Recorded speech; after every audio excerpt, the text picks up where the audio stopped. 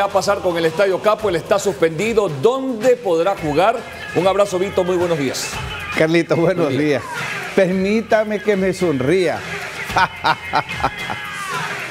A esta altura, Carlos Villasís se le va a envalentonar a Nassim Neme. no me haga reír. El Benitín y Eneas, que son Villasís y Galo Sánchez de la Comisión de Disciplina, quieren sorprender con una primera decisión efectista a los ojos del Ecuador. Vamos a suspender el Capuel. Vean, Nasib los cocachea a los dos, tin, tin, al uno y al otro. El viernes le levantan, el viernes le levantan la sanción. No van a poder. Nasib así los coge ambos, tin, tin, al uno y al otro.